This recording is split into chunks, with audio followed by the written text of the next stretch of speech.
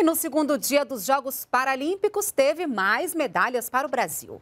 Daniel Dias, da natação, já havia conquistado bronze ontem, ganhou mais um bronze, desta vez nos 100 metros livre.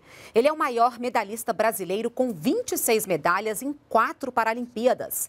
Daniel tem o apoio do programa Bolsa Atleta do governo federal. E agora há pouco saiu prata para o Brasil na esgrima com Giovanni Guissoni. E o Brasil acaba de ganhar bronze no revezamento misto 4 por 50 metros livre. O país acumula sete medalhas, um ouro, duas pratas e quatro bronzes.